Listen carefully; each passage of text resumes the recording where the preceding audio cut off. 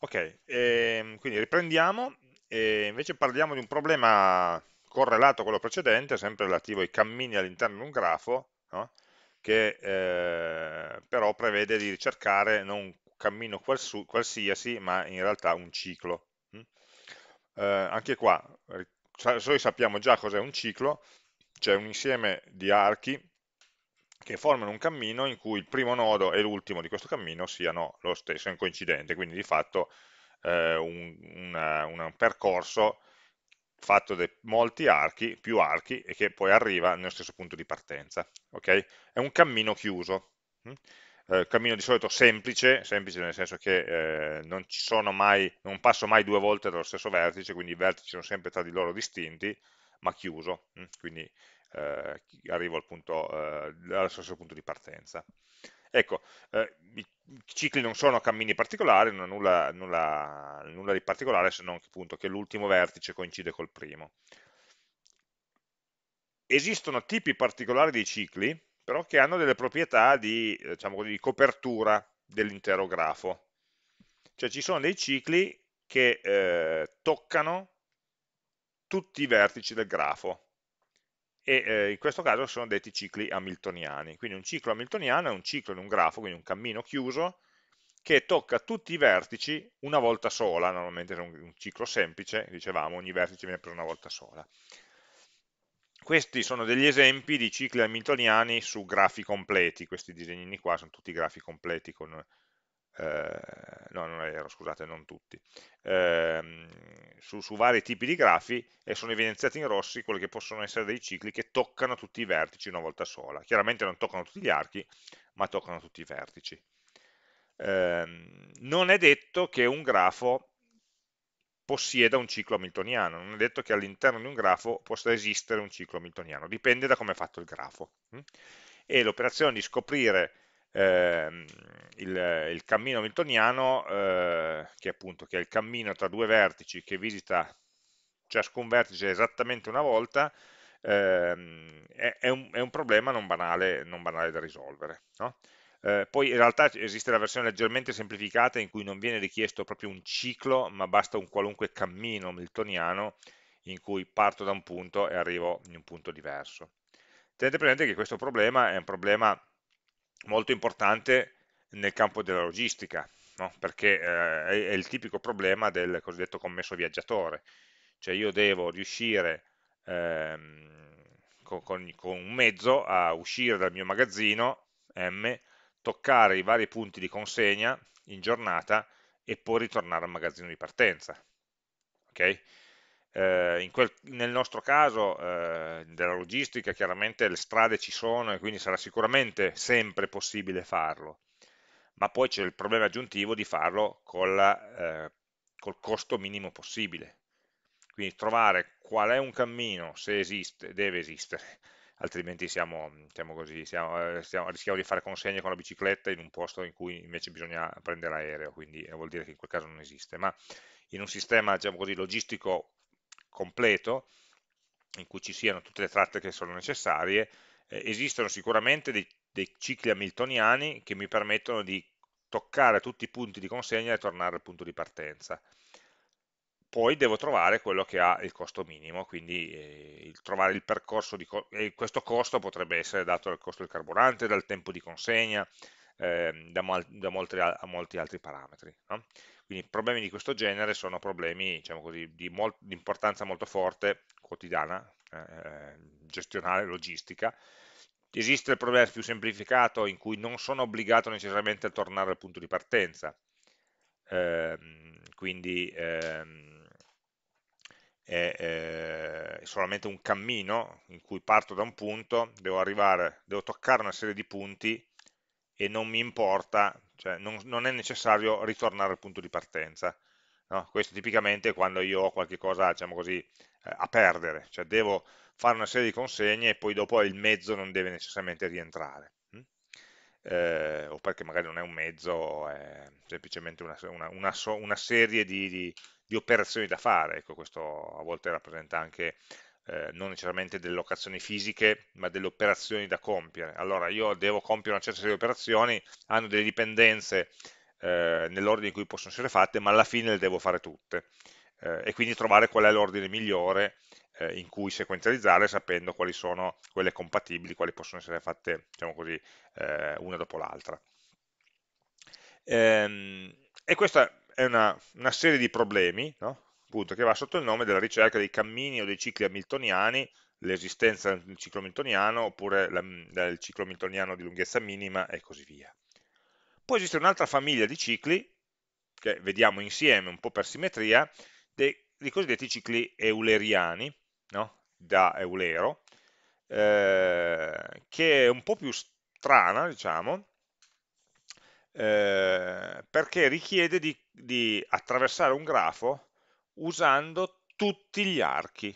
Quindi un cammino che usa ciascun arco del grafo esattamente una volta che se ci ricordiamo è esattamente il problema da cui è nata la teoria dei grafi, no? quello dei sette ponti della città di Königsberg eh, in cui eh, i ponti erano gli archi e potevo modellare questa città come un grafo, i cui ponti erano gli archi, le, i vertici corrispondevano alle parti di terraferma, quindi le isole oppure le due, le due isole oppure le due sponde de, del fiume, e quindi fare la classica passeggiata no, che attraversa tutti i ponti significava trovare un cammino ciclico, perché voglio tornare al punto di partenza, possibilmente, ehm, che eh, attraversa tutti gli archi, eventualmente passando più volte sullo stesso, eh, eh, anche sullo stesso vertice, non importa, l'importante è che siano gli archi diversi.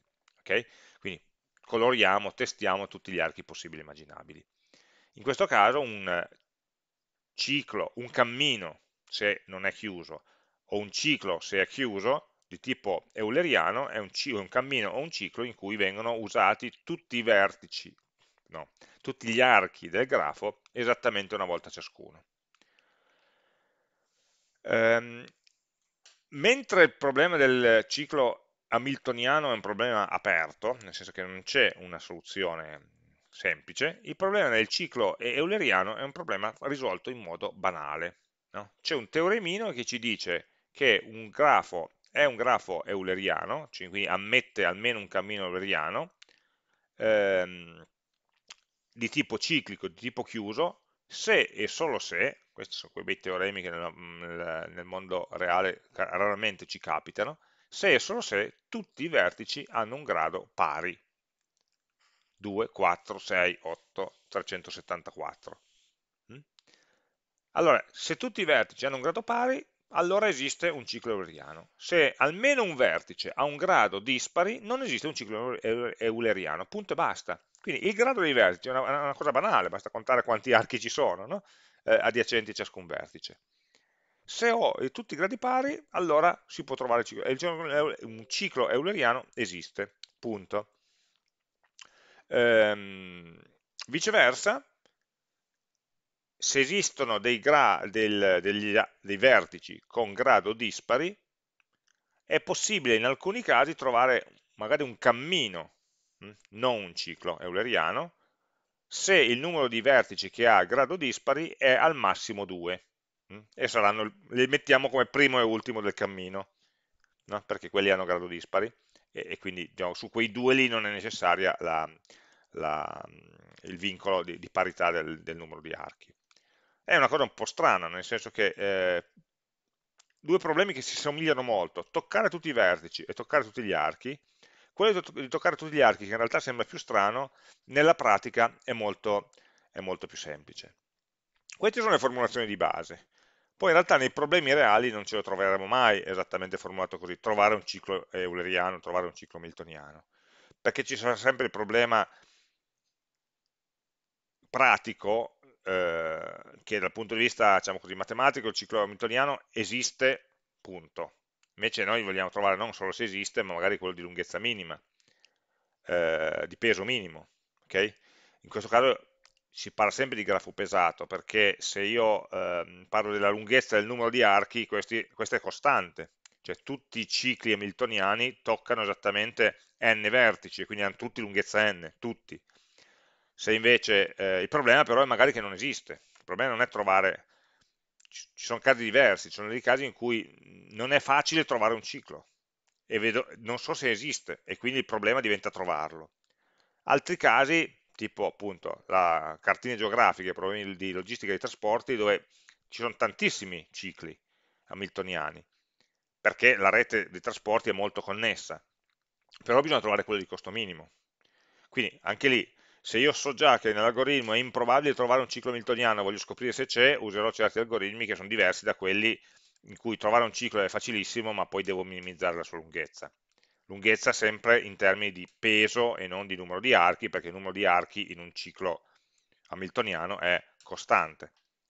E la stessa cosa sul ciclo euleriano. Eh, io, è facilissimo trovare se esiste, però magari trovare quello di, perché basta verificare il grado eh, dei vertici, quindi il primo problema, eh, dire se esiste è banale, ehm, mentre invece eh, trovare quello di peso minimo invece non è, non, non è, non è banale. No?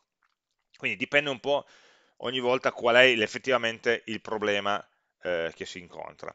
Tenendo presente che spesso su problemi in cui si vanno a cercare i cicli, eh, tante volte si ha a che fare con dei grafi completi, hm, in cui ci sono tutti gli archi possibili e immaginabili e questo chiaramente aumentando la densità del grafo complica, eh, complica parecchio no? Il, ehm, la, la, il, tempo di esecuzione dell'algoritmo. In questo grafo completo non è, è, facilissimo trovare dei cicli, basta prendere gli, i vertici in qualunque ordine, però, però, poi devo poi trovare quello migliore, e allora li devo diciamo così, ehm, enumerare tutti i possibili cicli che sono, guarda caso, n fattoriale, perché dipendono dalle permutazioni dei vertici. Quindi ci sono varie varianti no, di questi problemi e, e, di fatto ogni problema eh, diciamo così, è un po' un, po', un po', un problema a sé. No?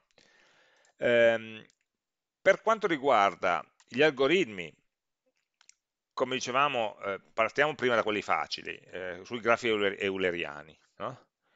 Ehm, non solo abbiamo il teorema facilissimo che ci dice eh, se tutti i vertici hanno grado pari, allora esiste un ciclo euleriano, altrimenti non esiste, ma eh, abbiamo cioè, diciamo, la stessa tecnica che si usa per dimostrare il teorema è anche una tecnica costruttiva che ci dice qual è il ciclo, che ci, ci insegna a costruirlo.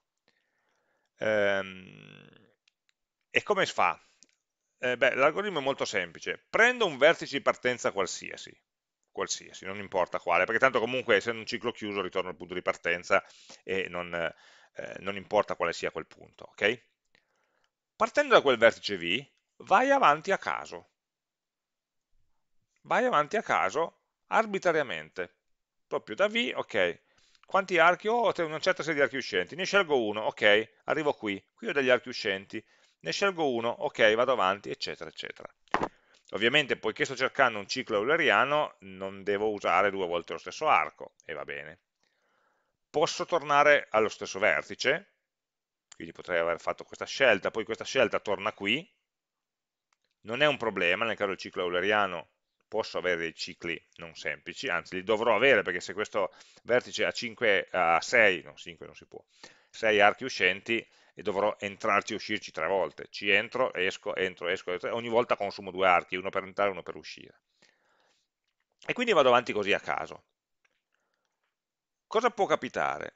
Eh, che poiché il numero, se, poiché il numero di eh, vertici è finito, non è infinito, non abbiamo dei grafi infiniti, prima o poi tornerò al punto di partenza. Oppure arriverò in un vertice da cui non mi posso muovere. Allora, il teorema ci dice che eh, non può capitare mai di trovarti in un vertice da cui non puoi più uscire. Perché? Proprio perché il grado di ogni vertice è un numero pari.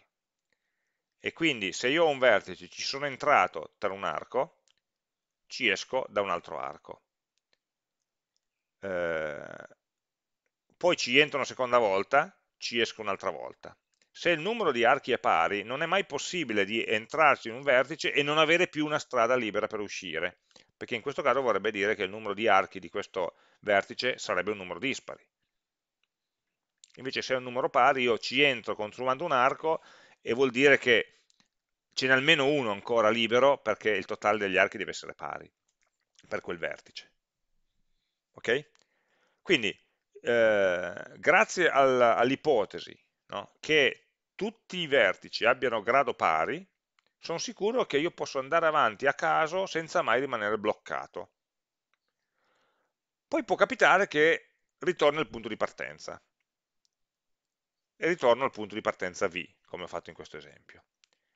Allora, ho fatto un cammino, che è un cammino chiuso, quindi è un ciclo, ma non, non, è detto che questo, poiché sono andato a caso, non è detto né che questo ciclo tocchi tutti i vertici, in realtà non me ne frega niente se tocca tutti i vertici o no, perché mentre sono gli archi, e quindi ovviamente non è neanche detto che tocchi tutti gli archi, che attraversi tutti gli archi.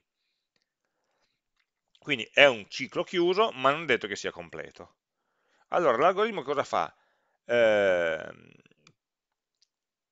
dato questo cammino, dice, va bene, ma ancora, ci sono, questo qua non è completo. Se non è completo vuol dire che ci sono ancora dei vertici che hanno degli archi non utilizzati. E allora prendiamo uno di questi vertici e ripetiamo la procedura troveremo un altro cammino e poi in qualche modo incolliamo insieme questi due cammini. Lo vediamo meglio su una figura mm, perché eh, è più chiaro che cosa succede.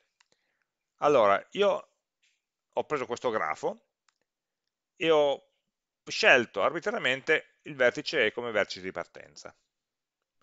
Allora, questo è un grafo euleriano perché se andiamo a contare a a grado 2, B a grado 2, C a grado 4, D a grado 4, F a grado 2, E a grado 1, 2, 3, 4, 5, 6 e così via. H a grado 6, I e J hanno grado 2. Tutti i vertici hanno grado 2, beh, pari, 2, 4, 6 e quindi questo è un grafo euleriano.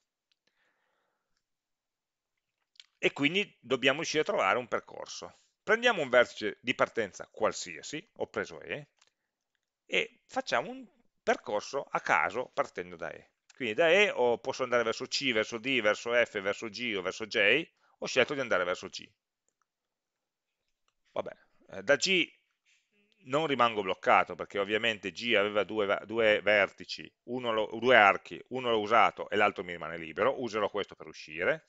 Arrivo in H, da H posso proseguire verso D, C, F, I o J. Boh, scelgo di proseguire verso J, sto andando a caso senza nessun criterio, senza nessuna regola. Da J posso proseguire solamente verso E. E mi ritrovo di nuovo su E, cioè sul mio punto di partenza. Ok, a questo punto ho una piccola parte di quello che diventerà un mio percorso euleriano. Per aggiungere, devo ovviamente aggiungere dei pezzi, per aggiungerli cosa faccio? Scelgo un qualunque vertice appartenente a questo cammino che, ci, che abbia ancora degli scelgo comunque vertice che abbia ancora degli archi liberi, quindi posso scegliere in questo caso E oppure H, e ripeto la stessa procedura da quel punto. E quindi H, ad esempio, faccio ehm, H, da H potrei andare verso F o verso, J, o verso I o verso D, ovviamente, scelgo di andare verso D, poi da D scelgo di andare verso C e poi casualmente da C scelgo di tornare ad H. E quindi ho fatto quest'altro percorso, no? che potrebbe essere questo, H, D, C, H. Al momento avrei due cicli, questo è il primo e questo è il secondo. Io alla fine non voglio però tanti pezzi di ciclo, voglio un ciclo unico. Però li posso infilare facilmente, nel senso che poiché il secondo ciclo inizia ad H e finisce a H, e H per scelta è un vertice che apparteneva al primo percorso, posso semplicemente infilarlo qua. E ottengo questo. E G, che è un pezzo del primo, poi ho tutto questo sottocammino HDCH, dove prima c'era solamente il vertice H, e poi JE, che è il resto del primo cammino. Mm? Quindi praticamente quello che sto costruendo è il cammino iniziale è GH, poi anziché continuare subito su J, parentesi, vado su D, C, poi torno su H e a questo punto continuo il percorso J e per finire. È un po' twisted, un po' incrociato, ma in realtà sono, è come se io facessi questo ciclo qui, lo taglio sul punto H e su questo ci innesto l'altro ciclo. Mm, quando non si intersecano li vedrei così come una sorta di 8. ehm, e quindi il, il, primo ciclo non lo completo, perché quando arrivo a un certo punto faccio una deviazione che mi farà toccare una certa serie di altri archi e vertici e poi tornare al punto di partenza da cui poi posso continuare. E che questo, capiamo che questo lo possiamo ripetere ogni volta, perché anche questo a sua volta posso scegliere un qualunque arco, no, un qualunque vertice presente su questo cammino che abbia ancora degli archi liberi e innestarmi e fare anche qua un secondo eh, eh, ciclo che tornerà al punto di partenza, eccetera, eccetera. Fino a quando non esaurisco il tutto. Quindi da questo eh, esempio qua posso scegliere ad esempio B, D, scusate, di ripartire da D e posso trovare un altro cammino che parte da D, possiamo disegnarlo, eh, D, B, C, D, B, A, C, E, D questo qui sotto. No? Partendo da D posso fare D, essendo un vertice che appartiene al, alla parte di ciclo che ho già trovato e ha ancora archi liberi, posso partire qui e fare questo giro. E otterrò quindi questa figura eh, in cui poi, questa qui, a, a destra, hm, partiamo da qua, in cui ho aggiunto anche questa parte D, B, A, C e D, che è qua in mezzo. Anche qua rimane ancora qualcosa di libero, allora attenzione A, B, C, D sono già pieni, nel senso che ho già dato tutti i vertici, rimane ancora E, H o F, no, o e, e, oppure H, scusatemi, perché F non appartiene ancora al cammino, I non appartiene ancora al cammino, quindi non lo posso scegliere. Scelgo o E o H, diciamo scegliamo H, e a questo punto l'unica cosa che posso fare è andare ad esempio verso F, poi da F ho la scelta obbligata verso E, da E ho la scelta obbligata verso I perché non posso riusare archi che ho già usato, da I ho la scelta obbligata verso H e mi fermo.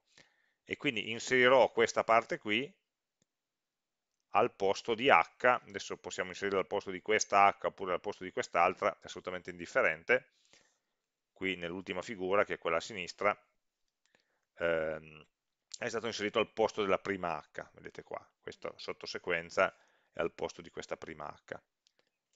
E alla fine abbiamo trovato questa serie di vertici in cui i vertici ovviamente compaiono più volte, ma gli archi che li collegano compaiono tutti una volta sola, li usiamo tutti, li usiamo tutti una volta sola e torniamo come punto d'arrivo allo stesso punto di partenza. L'unica ipotesi che abbiamo usato appunto è che eh, quando entro in un vertice posso sempre uscire e o scopro sempre vertici nuovi e allora vado avanti, oppure torno al vertice di partenza e allora mi fermo e uso poi il meccanismo per ripartire scegliendo uno dei vertici rimanenti nel, nel grafo. Alla fine di questo tutti i vertici verranno considerati a meno che non ci siano delle parti del grafo che non sono connesse, allora ovviamente se non sono raggiungibili non li troverò mai. Ma poiché io ogni volta parto da un vertice che c'è già nel mio, ehm, nel mio, nel mio ciclo, diciamo così, temporaneo, eh, sono sicuro che i due cicli si congiungeranno sempre, cioè non prendo un vertice a caso e ricomincio da là, no? prendo da un vertice di quelli che ho già e lo allargo, quindi ogni volta si allarga sempre di più questa, questa serie di cicli concatenati in questo modo. Mm? Quindi questo è un algoritmo molto semplice, ovviamente già anche in libreria ce l'abbiamo già implementato, eh, e, lo, e, capiamo che ha una complessità che è proporzionale al numero di archi, perché ogni arco viene preso una volta sola. mentre sto navigando il mio grafo, eh, faccio operazioni banali, del tipo semplicemente scelgo il, il prossimo nodo adiacente, mi basta prendere il primo, non ho bisogno di fare nessuna scelta, nessuna ottimizzazione, nessun backtracking, vado semplicemente avanti. Mm? E quindi ad esempio eh, l'implementazione di questo ciclo euleriano della libreria JGraphT ci dice che il tempo di esecuzione, è scritto qua sotto, è di tipo O grande di E, dove è la cardinalità del numero di archi del grafo, che è quello che ci aspettiamo. Quindi un algoritmo tranquillo di complessità lineare eh, che ci permette di, di, di, trovare quando ci servono questi tipi di, questi tipi di cicli. Hm? purtroppo sono nella pratica meno frequenti, meno utili rispetto ai cicli hamiltoniani, eh, perché eh, la, la, diciamo, problemi in cui sia necessario trovare tutti gli archi sono più rari essenzialmente nell'ambito nell pratico. No?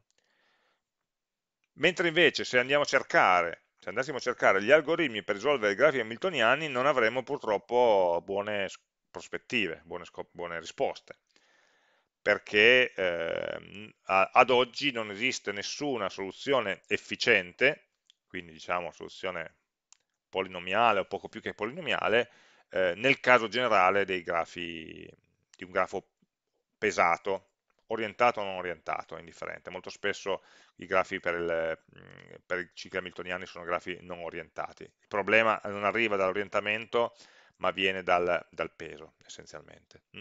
dal gestire i vari pesi, quindi tutti i vari cammini possibili e immaginabili.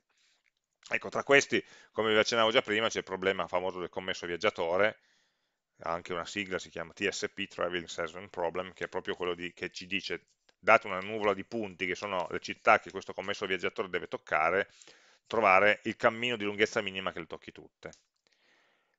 In questo caso, no, in questa figura, diciamo così, unire i puntini, diciamo, c'è un possibile ciclo che sembra un ciclo di lunghezza minima sulla destra, ti dico sembra perché eh, non, non, so se è stato risolto in modo esatto questo problema, qua nella slide, eh, però diciamo così, non, non, non vediamo, almeno a occhio, evidentemente delle, dei percorsi migliori rispetto a quello che è stato fatto. In questo, um, in questo esempio che c'è qui ci sono due ipotesi. Uno è che eh, per andare da questo punto a quest'altro punto possa volare. No? Quindi la, la, distanza che viene calcolata è la distanza in linea d'aria, in un certo senso. Um, e quindi tutte, per questo ho accennato prima al fatto che in molti casi i grafi che, con cui abbiamo a che fare sono grafi completi, perché in teoria da questo vertice potrei andare qui, potrei andare qui, potrei andare qui, potrei andare qui, potrei andare qui, posso scegliere quale, arbitrariamente quale sia la prossima città. Non ho un vincolo, di, oh, dopo questa città non posso scegliere la società successiva, ma solamente queste. No, io so quali sono le società magari più vicine più connesse, ma in teoria posso, come prossima città, scegliere una qualsiasi e in alcuni casi magari è, è più conveniente passare da una città che non è l'immediata vicinanza per poi tornare magari indietro piuttosto che non ehm, se voi avete un grafo fatto così. No? supponiamo. E poi una città qui. Quando siete qui vorrei, vorreste dire ma io vado, questa qui è più vicina ah poi questa è più vicina, poi questa è più vicina, eh, col fatto che c'era questa qua sotto, che vi siete dimenticati, eh, e se arrivate in fondo dovete tornare qua, avete una lunga strada da fare, quindi diciamo, quando siete qui vi converrebbe non andare su quella più vicina, ma su un'altra che è un pochino più lontana, perché poi non devo più tornarci eh, sopra. Quindi a priori io non so, non posso escludere che dopo una città ce ne possa essere un'altra e scegliere quest'altra sia la soluzione migliore. Quindi a priori il mio grafo è potenzialmente un grafo completo. E poi devo trovare ovviamente quali sono i, i, i percorsi migliori. Mm. Eh, l'altra, quindi la prima caratteristica dei problemi tipo TSP è che il grafo è completo perché non ho a priori delle coppie adiacenti di vertici da escludere. Quindi in teoria, in teoria, quando sono sul vertice tutti gli altri sono buoni, purché non li, non li abbia ancora visitati. La seconda caratteristica è che questo è un problema eh, geometrico, in cui il peso dell'arco corrisponde praticamente alla distanza tra le città. Poi la distanza non è detto che la misuriamo in chilometri, ma la misuriamo magari in tempo, magari la misuriamo in carburante, eccetera. E se però questa è una metrica di distanza, eh, vale la proprietà triangolare, no? in cui normalmente se io ho la somma di due segmenti, la somma del segmento di 1 più di 2 sarà sempre maggiore o uguale della, eh, di, di 3, no? se di 3 invece è segmento, ehm, quindi la famosa disuguaglianza triangolare che dice che il lato di un triangolo è sempre minore della somma degli altri due. Questo non è detto che avvenga se io metto dei pesi a caso sul mio grafo, se però questi pesi derivano da una misura di distanza, una misura di consumo di risorse, tendenzialmente provenendo dal mondo fisico questi grafi sono grafi eh, euclidei, cioè rispettano la, la disuguaglianza triangolare. E se io so a priori che il grafo ha questa proprietà, può darsi che il mio algoritmo sia in grado di sfruttarla. Quindi qui non sto più, visto che il problema appunto finora non abbiamo trovato una soluzione ottima, è un algoritmo che mi dia la soluzione ottima in tutti i casi, e comincio ad andare a chiedermi, ma magari in questo caso specifico di questo grafo, in cui ho questa proprietà aggiuntiva riesco a fare qualche cosa di meglio, riesco a trovare un algoritmo che non per tutti i grafi, ma per quella eh, categoria eh, invece lo, eh, lo, può trovare. Mm? Eh, e se noi andiamo a vedere sulla libreria JGraphT, eh, cerchiamo ciclo hamiltoniano, eh, noi troviamo stranamente non una classe o una serie di classi, ma un'interfaccia no? perché gli stessi sviluppatori della libreria ci dicono guarda, eh, questo è un problema noto, eh, sappiamo che il problema deve avere eh, di fatto come parametro un grafo e poi un metodo che si chiama getTour, cioè calcola il tour, eh, in questo caso parla di grafi, se non sbaglio, eh, non pesati, quindi trova solamente se esiste, a trovare se c'è un ciclo hamiltoniano, quindi non si preoccupa ancora eh, in generale del, ehm, del pesi, e poi ci sono delle classi che lo implementano, che implementano questa interfaccia. Le implementano in modo diverso, ciascuna di queste sottoclassi, eh, qui ce ne ho riportate alcune, eh, usa delle euristiche diverse, no? delle approssimazioni diverse. E ciascuna mi darà una soluzione, potrà darmi una soluzione che è una soluzione al meglio approssimata.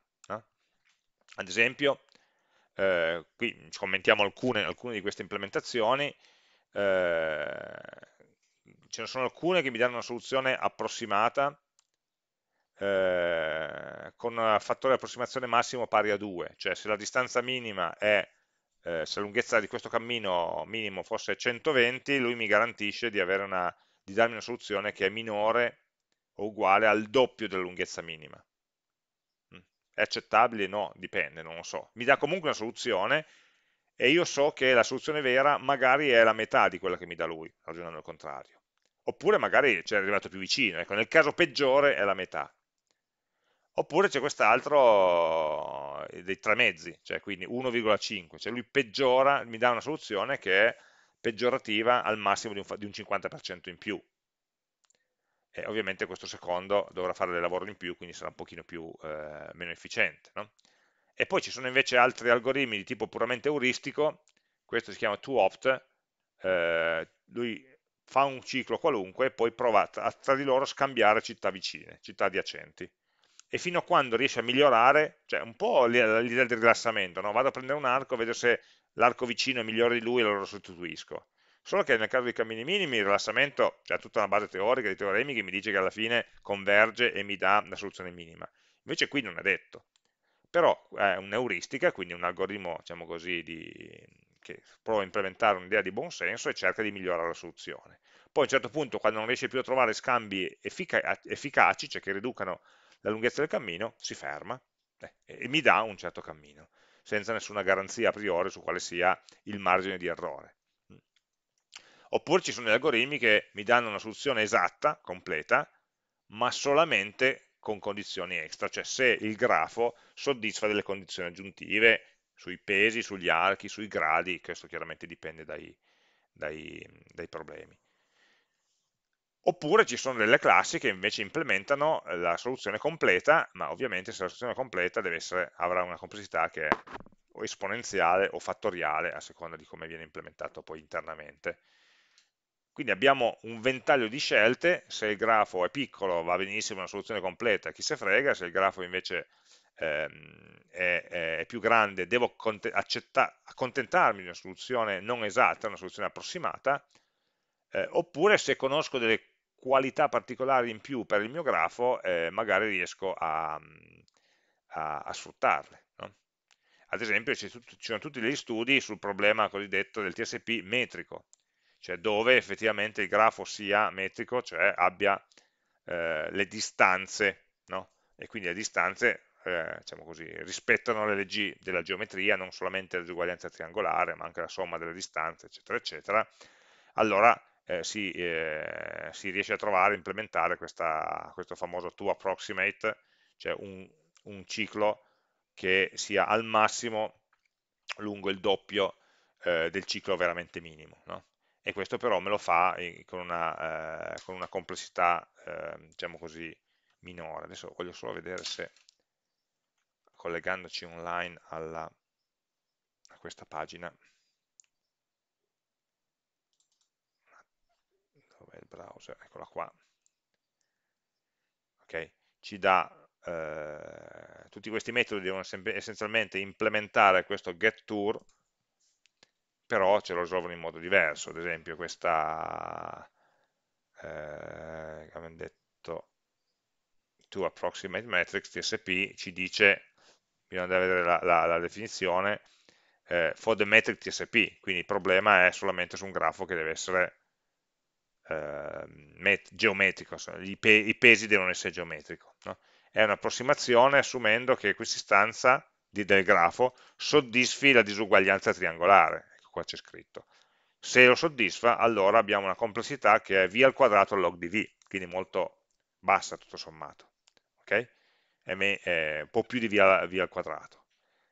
Mentre invece se andassi a prendere un, un algoritmo più preciso come quello dei tre quarti, dei tre mezzi, scusate, 1,5, mi dà una complessità, allora bisogna capire eh, nel TSP metrico la distanza tra città soddisfano la disuguaglianza triangolare, quindi anche qui faccio l'ipotesi di metricità del grafo, di geometricità del grafo, eh, lui però questo algoritmo qua richiede che il grafo sia non orientato e completo, quindi che ci siano tutte, quindi va bene, probabilmente l'ipotesi di completezza è valida, però eh, è una condizione per far girare questo algoritmo, mentre nell'altro algoritmo non era, non era, richiesto che il grafo fosse completo.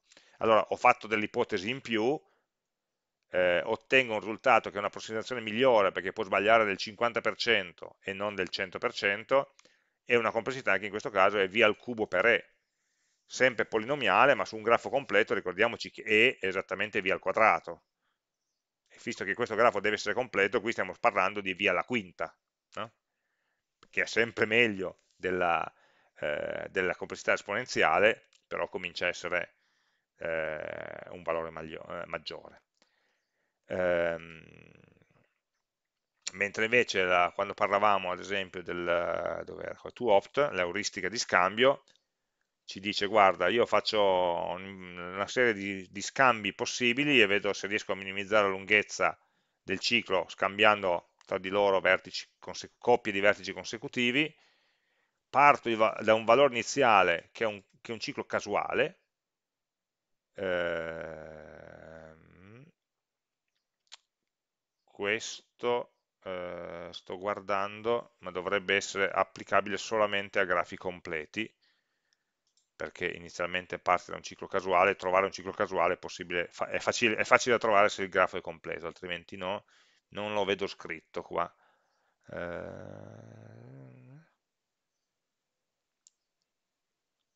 no, in questo caso non, c'è scritto, ma in realtà è, è, è, diciamo così, è implicito. Eh, poi vabbè ci sono altri, anche lui a sua, a sua, volta, ciascuno di questi algoritmi ha delle casistiche particolari. Eh, quello che dicevamo che era un grafo esatto, un algoritmo esatto, questo qua Palmer Emissional Cycle, eh, mi dice, calcola i grafi hamiltoniani, cicli hamiltoniani in grafi che soddisfano questa condizione di OR. Adesso non, so cosa, non ho idea di che cosa sia questa condizione di OR, eh, ha dato una sua eh, condizione sufficiente affinché un grafo sia hamiltoniano dicendo che devono avere, deve esserci almeno un certo numero di, di cicli.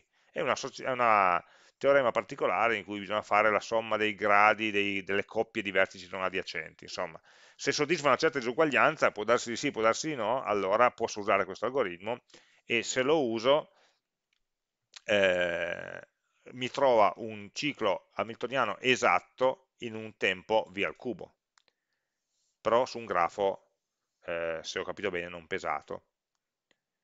Um, this algorithm does only attempt to find any Hamiltonian cycle, cioè cerca solo di trovare un ciclo hamiltoniano e però non cerca di trovare quello più breve. Quindi in questo caso si applica quando il grafo ha queste proprietà e noi non siamo sicuri se un ciclo esista e quindi andiamo a cercare se c'è uno. Se ce n'è uno, lui, questo algoritmo me lo trova, ma non è detto che mi trovi quello più breve. No? Quindi eh, non non avere la soluzione completa vuol dire che questo nessuno è mai riuscito a trovare, e probabilmente teoricamente non esiste proprio, una soluzione polinomiale esatta al problema, nel caso generale, e allora abbiamo tante soluzioni particolari specifiche. E dobbiamo capire in quale di queste, di queste casistiche no, si trova il nostro, il, il nostro, problema, se eh, diciamo, il nostro problema si può ricondurre a una di queste casistiche oppure andiamo verso il problema eh, completo, come ha citato nelle slide l'algoritmo di L-Carp che eh, mi, mi, dice subito che la complessità è 2 elevato v per v al quadrato, quindi, e, e, ha una necessità di memoria aggiuntiva anche di 2 elevato v, quindi capite che quando v cresce questo algoritmo qua non lo applicheremo, no? di sicuro, non è solamente per il tempo ma anche per la memoria che ha bisogno di allocare. E, e quindi magari può essere utile se il grafo è piccolo e se non ho informazioni aggiuntive. Quello che capita è che molto spesso ci dobbiamo accontentare, mi spiace chiudere il corso con questa constatazione triste, ma dopo aver tanto studiato, provato algoritmi, ci dobbiamo accontentare di eh, rinunciare, fermarci a un certo punto dicendo guarda questo problema qui o lo sappiamo risolvere in modo approssimato o lo sappiamo risolvere solo se in casi particolari ben, ben, ben precisi oppure in teoria sulla carta sarebbe risolubile, ma richiederebbe un tempo di elaborazione che comunque non è accettabile e ci si ferma qua. O meglio, in realtà non ci si ferma qua, ma esistono tutta una serie di algoritmi approssimati, che noi non studiamo in questo corso, che sono tecniche di soluzione approssimata, appunto, che cercano comunque di dare una soluzione che sappiamo già non sarà esatta, ehm, ma eh, entro certi tempi di elaborazione che diamo, beh, io ho 24 ore di tempo di CPU, cerchiamo un algoritmo che in queste 24 ore cerchi di fare il suo meglio per avvicinarsi, avvicinarsi il più possibile a un ottimo che non potremo mai conoscere. Mm? Quindi questa, diciamo così, eh, gli algoritmi che abbiamo diciamo, studiato in questo corso sono sempre partiti dall'idea di avere un problema e volerlo risolvere avendo definito qual è la soluzione nel mondo reale molte volte invece ci si accontenta, ci si deve accontentare di meno perché purtroppo la teoria ci dice che al di sotto di una certa complessità non si riesce. Tra l'altro io qui non vi ho detto che questo problema non si può risolvere in modo polinomiale. Ho detto che nessuno è mai riuscito a trovare una soluzione polinomiale al caso generale. Eh, e questo è uno dei problemi aperti dell'informatica c'è quel problema del commesso viaggiatore, quindi trovare un ciclo hamiltoniano è ancora un problema di cui se voi scoprite, se voi riusciste a dimostrare che non esiste nessun, nessun eh, algoritmo polinomiale che sia in grado di risolvere questo problema, sicuro avete il premio Nobel il giorno dopo, no? perché sono da 50 anni che nessuno è mai riuscito a dimostrare se esistono dei problemi, se esistono veramente dei problemi che non ammettono mai nessuna soluzione polinomiale eh, noi tutti sospettiamo di sì, no? nel senso che c'è quei problemi, sono da 50 anni, ci stiamo lavorando, nessuno è mai riuscito a trovare una soluzione più efficiente e quindi sospettiamo che non esista. Però matematicamente nessuno è mai riuscito a dimostrarlo, quindi c'è sempre il dubbio che un giorno uno arrivi, dice, stravolge l'intera informatica dicendo guardate che quel problema là che voi pensavate irrisolubile con complessità esagerata, in realtà si risolve così può succedere perché nessuno ha ancora dimostrato il contrario. Però c'è una categoria di problemi, che sono quelli cosiddetti NP hard, eh, NP sta per non polinomiale, che non sono risolubili in modo non polinomiale. Tra l'altro è carino perché invece quello che sono riuscito a trovare i teorici, gli informatici teorici, è che se tu ne risolvi uno di questi, se tu riesci a prendere uno di questi problemi classici, tra cui appunto il TSP è uno di questi, eh, l'altro è il timetabling, quindi fare gli orari essenzialmente, orari calendari, è un altro problema di questo genere. Se ne risolvi uno, riesci a trovare la soluzione polinomiale per uno di questi, allora a cascata riesci anche a risolvere tutti gli altri, perché sono riconducibili tutti l'uno all'altro, con certi meccanismi. Ehm, Mario mi chiede, al riguardo degli algoritmi che abbiamo visto, è importante scegliere uno piuttosto che un altro in un certo problema? Allora, eh, no se non, a, se non siamo troppo preoccupati delle prestazioni ottime in un problema piuttosto che in un altro. Eh, allora, per quanto riguarda i cicli hamiltoniani, eh, vabbè, posso già dirvi che cioè, se dovesse capitare un calcolo di questo genere in, in, un esame, quello che vi chiediamo è di fare una procedura ricorsiva, quindi provare voi a costruire il ciclo ehm, richiesto, diciamo così, direttamente, ricorsivamente, quindi non serve conoscere questi algoritmi perché di fatto, come vedete, hanno delle ipotesi di base che sono da studiare tutte una per una. Ve, lo cito perché magari vi può servire se avreste da, risolvere il problema nel mondo reale, eh, sappiate che c'è chi ha già fatto degli studi, degli investimenti, quindi ci sono già delle soluzioni pronte, però bisogna capire se si applicano o no, se si fanno bene o no. Eh, se dovesse capitare un problema di un ciclo all'esame, eh, quello che vi chiediamo è di fare una procedura ricorsiva per conto vostro. Se invece dobbiamo, parliamo di cammini minimi, allora tutti quegli algoritmi che abbiamo visto prima sono tutti validi, hanno tutti una complessità praticamente paragonabile sul via, via alla seconda, oppure numero di archi, oppure v, v per, v, per logaritmo di v, ma sono, eh, spesso usiamo quello di Dijkstra perché è quello sui, sulla singola sorgente è quello più veloce, più efficiente, ma alla fine sono abbastanza tutti intercambiabili tra di loro. Mm. Eh, sì, sì, è abbastanza indifferente usarne uno piuttosto che un altro. Per, sono comunque polinomiali, quindi se ne usi uno all pairs anziché un single source e quindi passi da v quadrato via al cubo per il tipo di grafici che abbiamo noi, probabilmente non, non ci cambia la differenza. È chiaro, eh, va, va, usato in modo corretto, nel senso che non devo ricalcolare troppe volte le cose che ho già, ma eh, non, non, stiamo a fare, diciamo così, ehm, ad analizzare troppo la scelta dell'algoritmo, sapendo che comunque è in quella categoria. Okay? Sarebbe sbagliato invece su un problema di cammini minimi impostare una procedura ricorsiva. Questo sì, perché eh, stai andando su una classe di complessità diversa quando in realtà sai che esistono delle, dei problemi di complessità polinomiale. Questo sì, bisogna un minimo orientarsi su qual è almeno la, la classe di problema, no? sapendo che grosso modo sono queste tipologie di problemi che possono capitare. Ok, um, noi abbiamo ancora una decina di minuti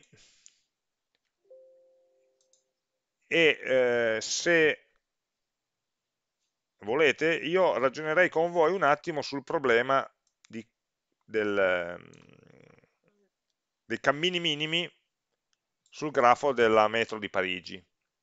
Ok? Cioè, oggi abbiamo parlato tanto di cammini, cammini aperti, cammini chiusi, cammini minimi, cicli, eccetera, eh, noi avevamo visto la volta scorsa no, il problema della metropolitana di Parigi in cui avevamo una prima implementazione che avevamo qua in questo test model che eh, trovava un cammino.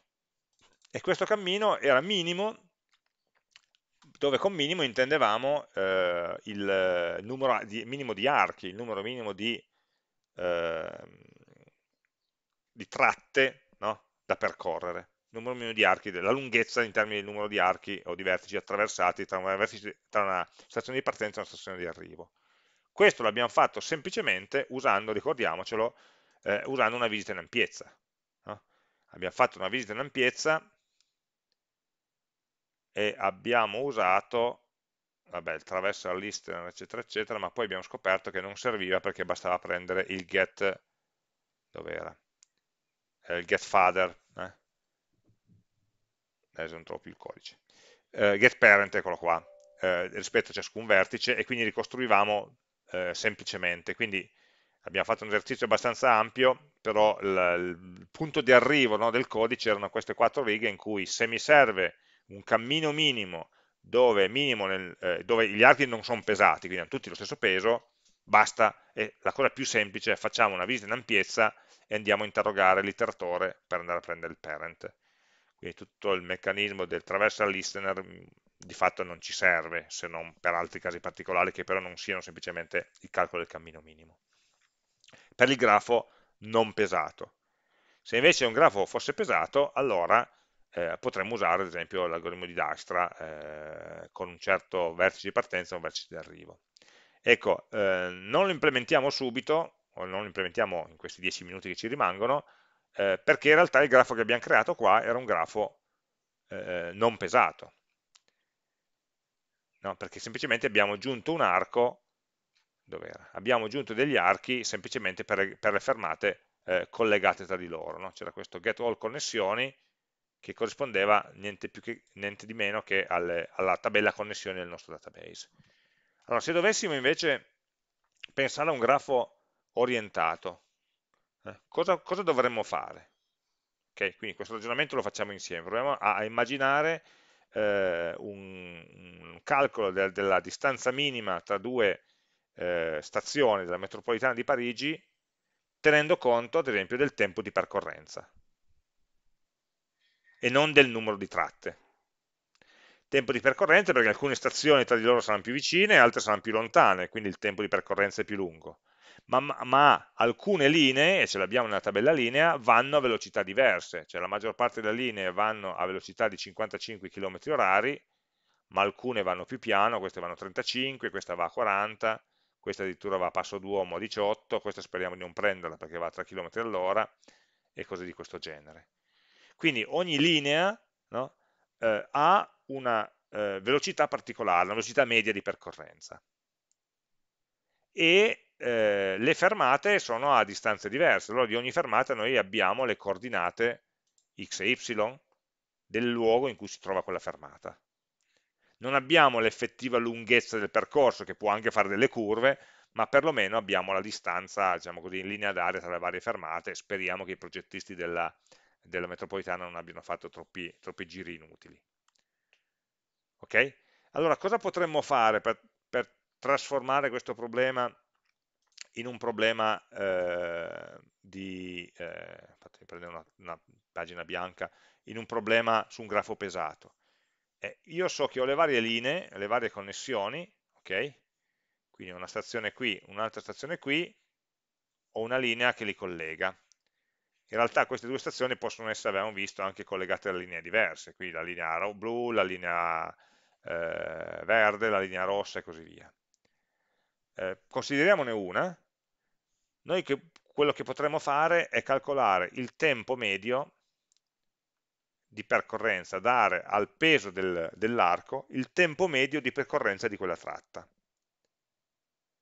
E come lo calcolo il tempo medio? Beh, il tempo medio potrebbe essere spazio ehm, fratto velocità. Quindi il tempo medio lo possiamo calcolare come lo spazio, quindi distanza tra la fermata 1 e la fermata 2, F1 e F2, fratto la velocità media della linea. Velocità linea. Ok, allora la velocità della linea la conosco, partiamo dalla connessione. La connessione mi dice che io ho un arco tra la, fermata 358 e quella 124.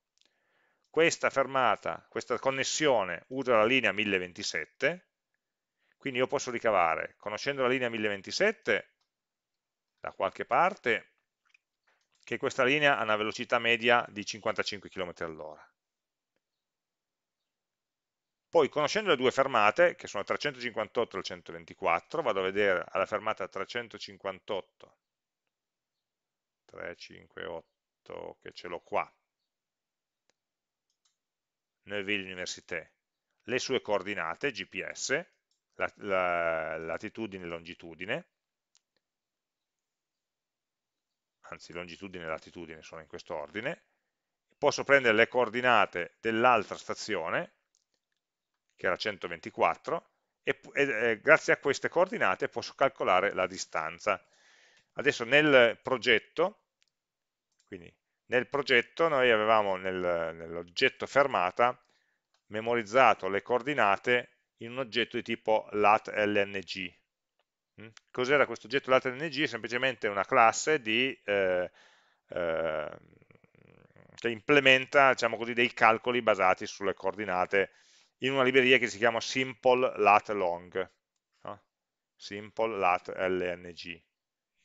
Se andiamo a cercarci questa libreria, eh, questa offre alcuni metodi, c'era già l'indicazione in, in, uno, in, in uno dei, dei, dei laboratori no? in cui è già stato usato questo, eh, questa libreria fornisce degli oggetti semplici per fare calcoli tipo geometrici. Dov'è la documentazione? Eh, aspetta che non, mi, non la trovo più.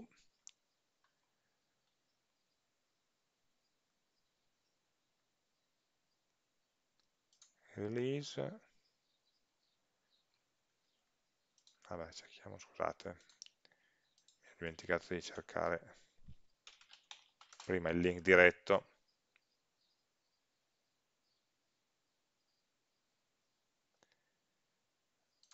ok, ad esempio, ecco, questo è uno dei siti in cui ci trova il Javadoc di questa, di questa libreria, ehm, e eh, dati due oggetti di tipo lat_long,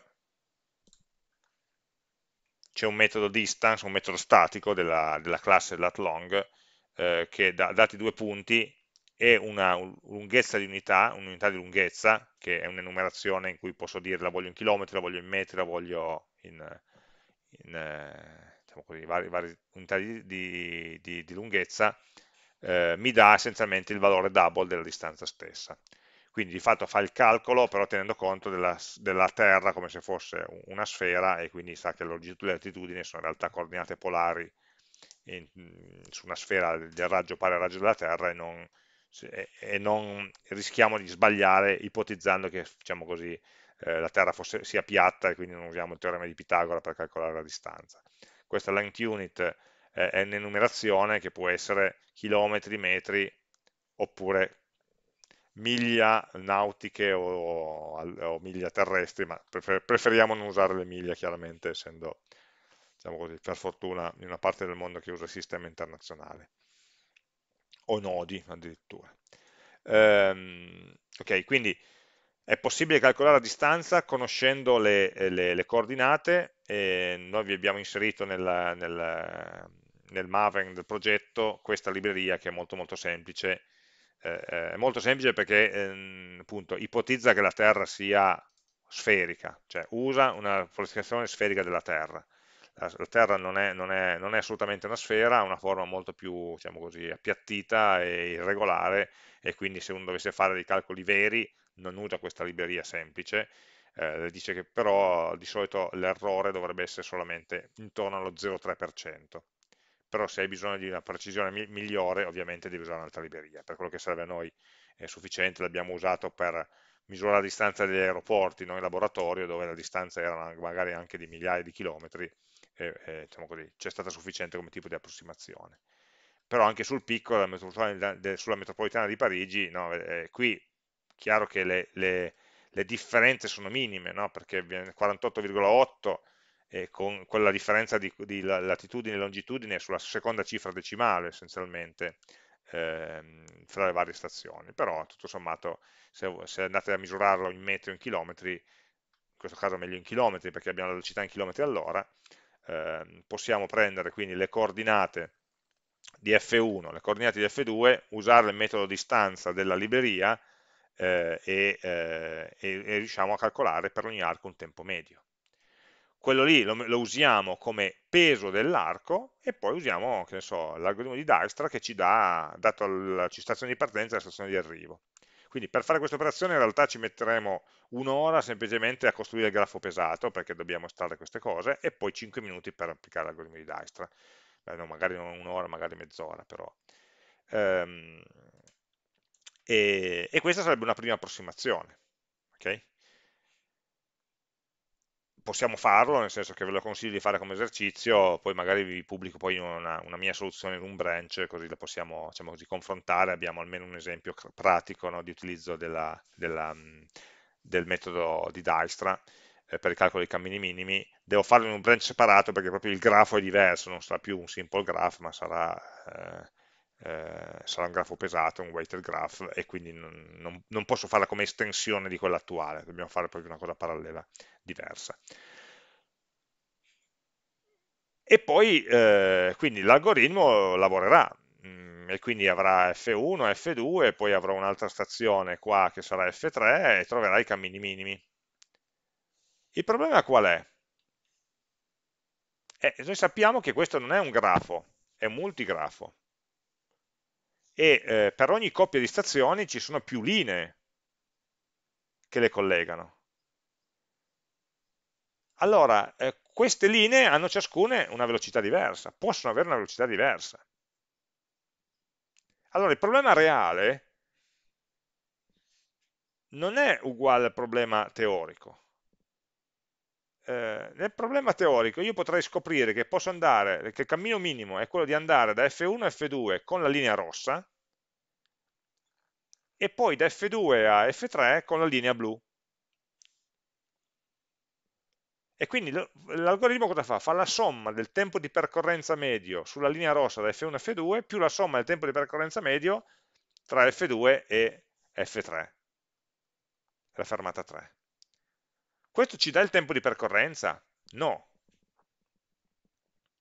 No, perché eh, dimentica il fatto che qua dovrei cambiare stazione, dovrei cambiare linea. No, io posso avere tutti gli archi che voglio, magari questo ha un peso minore perché la velocità della linea rossa, la distanza chiaramente è la stessa tra F1 e F2, ma la velocità della linea rossa magari è maggiore della linea blu e linea verde, e quindi lui mi dice guarda in quel tratto lì prendi la linea rossa, sicuramente è più veloce. Poi dopo la linea rossa non c'è più e quindi scegli tra la verde e la blu. E mi dà la somma dei tempi netti di percorrenza. E mi dà il percorso che minimizza la somma dei tempi netti di percorrenza senza pensare che in realtà eh, qui devo cambiare e cambiare significa perdere tempo. Se la mia metrica è il tempo, come abbiamo, stiamo cercando di fare, eh, qui sto perdendo tempo. Se io sono sulla stessa linea, il tempo di attesa in stazione è zero.